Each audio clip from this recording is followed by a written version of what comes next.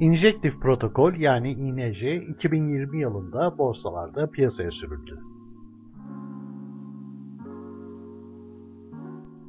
INJ'nin piyasa değeri 2 milyar 486 milyon 878 bin 641 Türk lirası. Dolaşan arz ise 16 milyon 55 bin 554 yani %16. Maksimum arzı ise 100 milyon.